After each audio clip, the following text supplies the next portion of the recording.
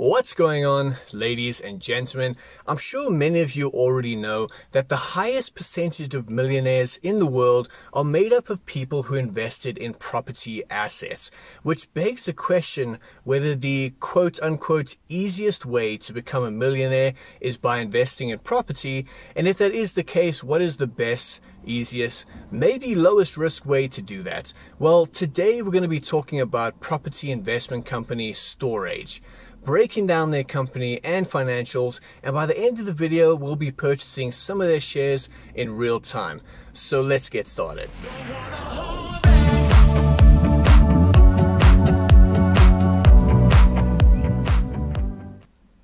First of all, let's get the elephant out of the room because I've just said investing in property and then I talked about buying shares in a property company. Now, why is that? Well, there are two reasons. The first is that more often than not, buying property can take a lot of capital. Not always, but between deposits, transfer fees, bond costs, and maybe even renovations, it can take a lot of money to start with. I've done it myself, and not everyone has that right under their couch. The second reason is risk.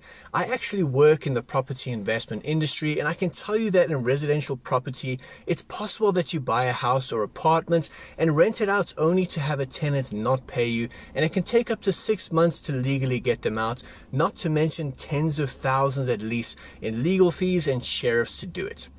So to do it properly, you'd want to be able to make an investment in multiple units so that not all your eggs are in one basket. And even then that would cost multiply substantially more. And if you can do that, awesome, go for it. But today, let's chat about if you have even 100 Rand up to a few thousand and beyond, and how you can make some good solid returns for the rest of your life. So that brings us to today's company, Stor-Age. Now, Stor-Age is not your typical property company because they invest in purely self storage facilities here in South Africa and in the United Kingdom. So the reason why that is important is because it's the only one of its kind on the JSE and it's a very stable and lucrative industry if done right. Now, since COVID, residential has come under pressure, shopping centers lost foot traffic, and offices are struggling because people are working from home and don't need as much office space. But when the economy is booming, people need storage to store all of their extra stuff. And when it's going down, people need storage because they're likely downsizing. So it's shown to be a very resilient asset class in a number of economic conditions. And the most important thing, for me at least, is that they pay really great dividends twice a year. And that since I've owned their shares in June 2019, they've never missed one and they keep on growing. Just this last year, their dividends grew by 8% from the year before during COVID. So let's take a look through some of their graphs and facts, then we'll get through to buying the shares.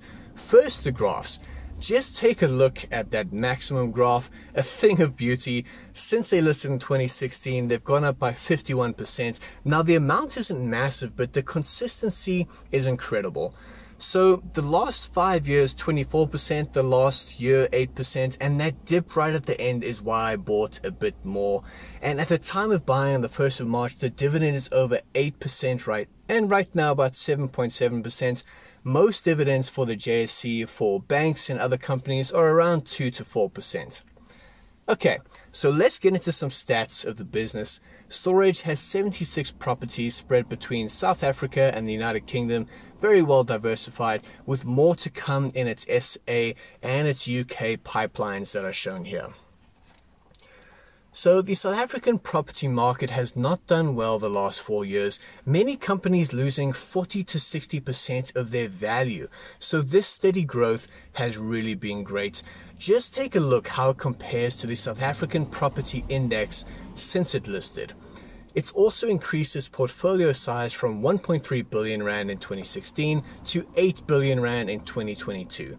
Now, all of this with a loan to value ratio, which is basically how much it owes versus how much it owns, of 25%. Now, I must tell you, most listed property companies have around 45%, some up to 75%, so that's much better than most and bears well against others with potential interest rate hikes coming this year. So let's take a look through some recent financials. All right, in the SA market, its rental income on a like for like basis is up by 32 million Rand since this time last year. Its expenses are only up by 2 million Rand. So its net income, which is income minus expenses, is up by 30 million Rand or a bit over 10%. In the UK market, its rental income is up by 700,000 pounds or 14 million Rand. Expenses only up by 100,000 pounds or 2 million Rand. So net income overall with a couple of others is up by 700,000 pounds, 14 million Rand or 8% and consolidated, which is all income and expenses in total, its net profit is up 14% from the previous year in a group, and this is during COVID times. So, in terms of its balance sheet, the most important number to look at is net asset value per share, which is basically all assets minus all liabilities per share that you own. Now, this has gone up from 11.19 million Rand to 12.64 million Rand. So, the overall value per share is up 13%. All right, so let's do it the casual cash way and tell you how much I've made from this share. Well, since buying in June 2019 for a total of 8,062 Rand, they have paid dividends every six months religiously for a total of 1,914 Rand and 63 cents, which is 24% of the total purchase price just in dividends. So, with that being said, the markets are in a dip, so let's get to buying some additional shares. All right, we're going to use easy equities. We're going to go to our share and go to buy more. We're putting in 2007 Rand and 49 cents so that it covers the fees for an even 2000 Rand exactly. We're going to click buy now and there you go.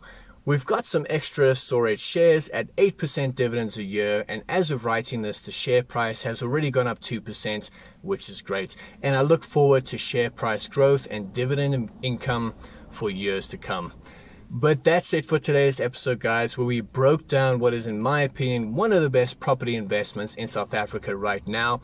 But make sure you research what you need to on your side if you're considering it for your own portfolio and if it is indeed the right investment for you. So I hope you enjoyed this and please feel free to like the video and subscribe to the channel for videos like this and much more. But until then, I'll see you guys next time on Casual Cash. Cheers.